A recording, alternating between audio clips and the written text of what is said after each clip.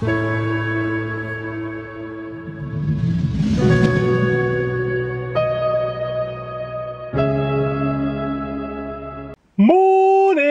How the devil are you? Well, excellent. Yes, I'm good. Thanks very much for asking. I'm shattered though. It's still dark in the morning, which means I'm getting up exceptionally early to go to the gym. So, shall we go? Yes? Sounds good? All right, then let's go. Hopefully it'll be bright by the time I come back out again, but it will probably be dark when I go home tonight as well, which is just awesome. Great.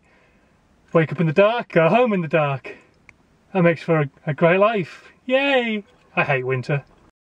Oh boy, it's been quite the day today. I uh, found out some in interesting information a little bit earlier on, so uh, I'm implementing some of that. I, I, wish I could talk to you about some of the stuff that goes on in my daily life, but sadly, it just cannot be spoken about. It is all hush hush.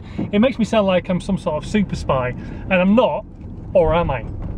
If I was, and I told you, I'd have to kill you. And I wouldn't want to do that.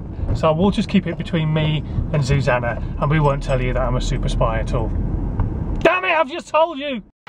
So this is generally what my nights consist of. Having to get up every five minutes to make her a new hot water bottle. Hot water bottles all the time, that's all she wants.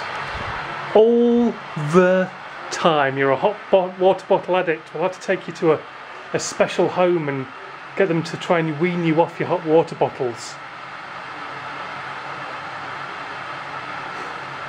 She's not impressed. You're watching Stop Jabbaing On.